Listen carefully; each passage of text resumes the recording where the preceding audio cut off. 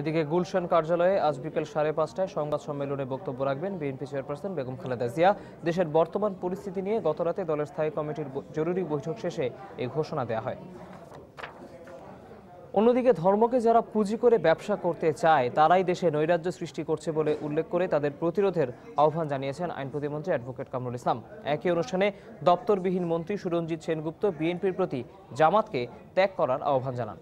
সকালে রাজধানী শিল্পকলা একাডেমিতে এক অনুষ্ঠানে তারা এই আহ্বান জানান। জামাত শিবির যে তাণ্ডব চালাচ্ছে সারা দেশে এবং তাদের তাদের পেছনে বিএনপি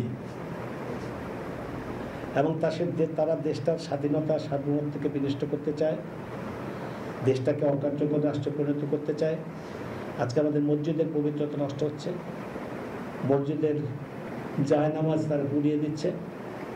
মসজিদের মার্বেল পাথর। তারা ভেঙে পুলিশকে ছুঁড়ে মারছে।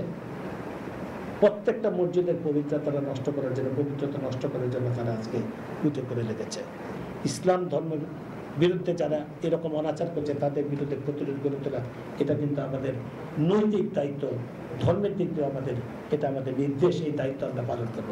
আমি প্রত্যেকের প্রতি আহ্বান জানাব, আজকে আমরা আসুন সম্মিলিতভাবে এই গোষ্ঠীর বিরুদ্ধে এই ইসলামের দুশ্মনদের বিরুদ্ধে আমরা প্রতিরোধ গড়ে তুলি। বিএনপির সাধারণ সম্পাদক তিনি এটাকে বলেছেন এটি গণহত্যা। আমিও আপনার সঙ্গে সুর মিলিয়ে বলতে চাই যদি গণহত্যাই হয় তাহলে গণহত্যার জন্যে দায়ী আপনার মহাজোটের জামাত বন্ধুরা। বিন্দুমাত্র যদি মানবাধিকারের প্রতি আপনাদের কোনো রকম কমিটমেন্ট থাকে, তাহলে তাদের ত্যাগ করে মানুষের সামনে দাঁড়ান, আইনের শাসনের পক্ষে দাঁড়ান।